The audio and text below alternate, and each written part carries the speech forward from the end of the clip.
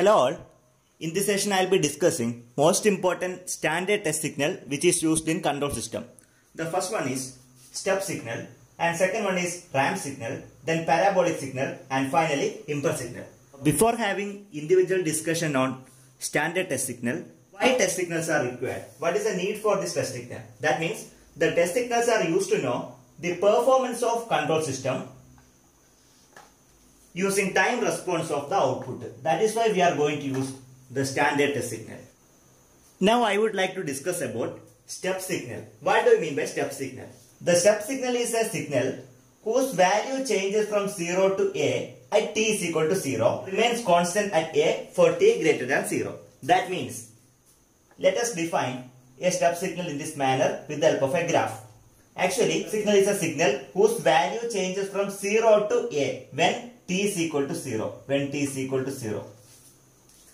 And it remains constant when t greater than 0. So after, after this value, so after t greater than 0, as you can see, whenever t greater than 0, what is going to happen? The value remains constant. So it will be changes only when t is equal to 0. There is a change. Till this point it will be changing. So whenever the value of t greater than 0, uh, the value, the magnitude is becoming constant. So this type of signal is known as step signal. So mathematically we can write r of t is equal to a. That means r of t is equal to, r of t is the input signal. So r of t is equal to a, then t greater than 0. Whenever t greater than or is equal to 0, r of t value is equal to a.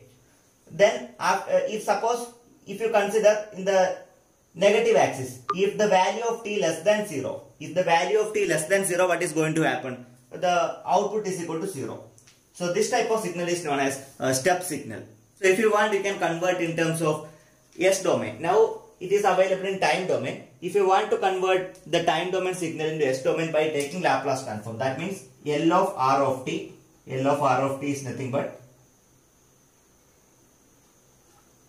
R of S that is equal to, we can take Laplace transform of A that is nothing but A by S. You can convert time domain into S domain by taking Laplace transform. Now let's define unit step signal. It is a special case of step signal and one more important definition. The unit step signal is a signal whose value changes from 0 to 1 at t is equal to 0 at t is equal to 0 and remains constant at 1 whenever t greater than 0 instead of a earlier case earlier step signal we put a magnitude is equal to a. Here instead of a you need to put 1 then it is becoming unit step signal. That means we can define mathematically r of t that is equal to 1 where t greater than 0 t greater than 0 the value is becoming 1 the magnitude is becoming constant that is equal to 1 okay whenever t is equal to 0 it changes to 0 uh, thereafter the value if the value of t greater than 0 then what is going to happen? Uh, the magnitude is becoming constant. That is happening on the graph. On the opposite side if the value of t less than 0 output remains 0 so this type of signal is known as unit step signal and it is a special case of uh, step signal. So if you want you can convert time domain into uh, s domain by taking laplace transform. That means r of t that is equal to r of s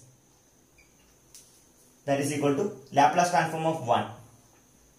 It is nothing but 1 by s. This can be done. Now let's discuss ramp signal. What do we mean by ramp signal? Ramp signal starts at the value of 0 and increases linearly with respect to time. That you can directly observe from the figure. The shape of the curve is straight line.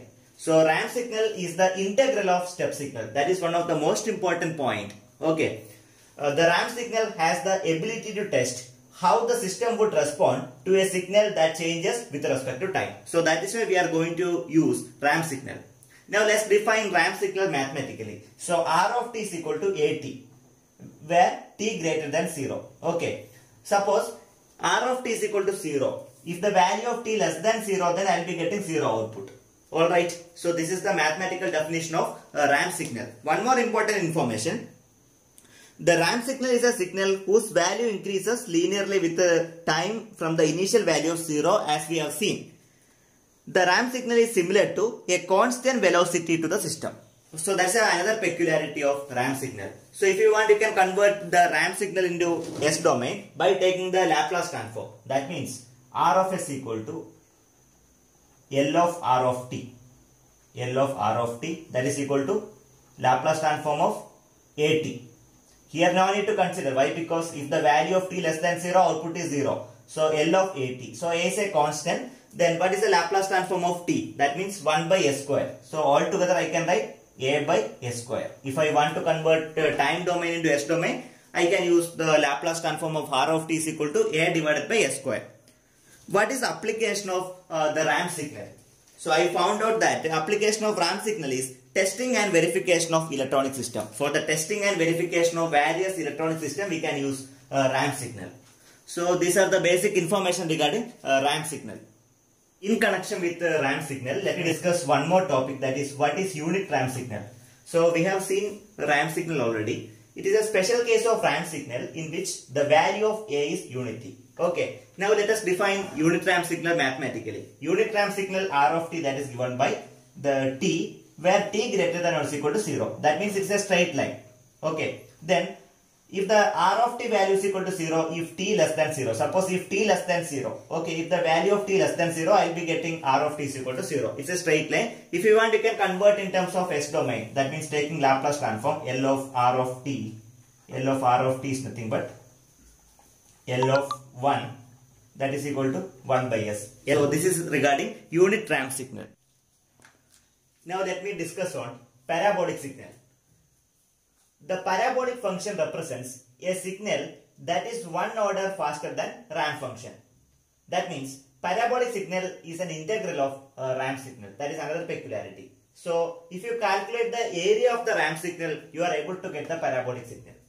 That means parabolic signal resembles a constant acceleration input to the system. So that's a peculiarity of parabolic signal.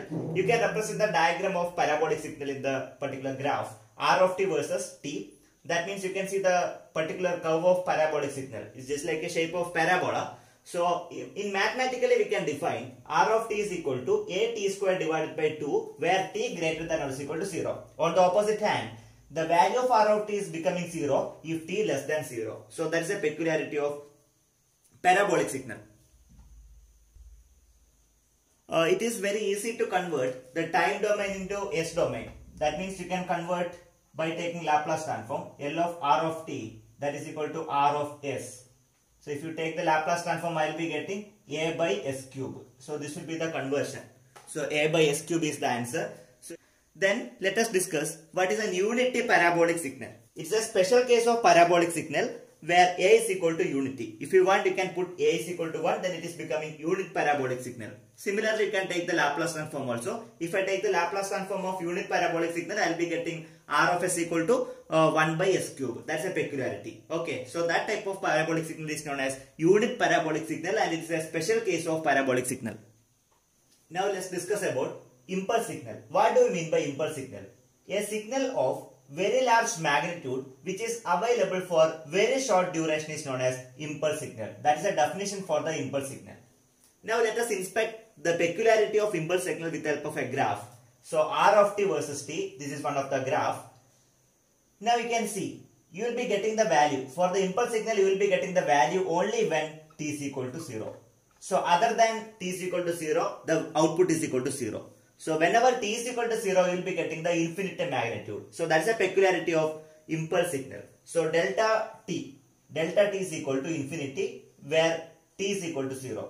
So whenever t not equal to 0, either it may be minus t or plus t, I will be getting 0 output. The ideal impulse signal is a signal with infinite magnitude and 0 duration but the area of A. Moreover, impulse signal is also known as delta function. You can underline this point. This is also known as delta function. Now if you want you can calculate the area of that particular impulse signal that means minus infinity to plus infinity delta of t dt that is equal to a. You will be getting the area that is equal to A. Moreover, if you want to convert the time domain into S domain, so let us take the Laplace transform. So Laplace transform of delta of t. Okay, Laplace transform of delta of t will be 1. That is unity. So if you take the Laplace transform of impulse signal or they will be getting uh, unity or 1. Okay. Discuss what do you mean by unit impulse signal. A unit impulse signal is also defined as a signal which has zero value everywhere except t is equal to 0 where its magnitude is infinity. So that is it is that is why it is known as unit impulse signal. So this is one of the most important point. Impulse signal is a derivative of uh, step signal that you have to note down. Moreover, impulse signal referred to as weighing function of the system. One of the most important application of impulse signal is defibrillator. So this is one of the biomedical application. By using defibrillator, it is possible to create artificial heart pulse. That is the main application of defibrillator. The main component or the main segment is uh, impulse signal. The main segment of defibrillator is impulse signal. In this session, we have discussed the importance of different test signals and uh, individual applications. I have referred the following textbook. The textbook of control system by A. Anand Kumar and the textbook of control system by A. Nagoor Kani. Thank you very much for watching this video. If this channel is useful for you, please do subscribe. Thank you.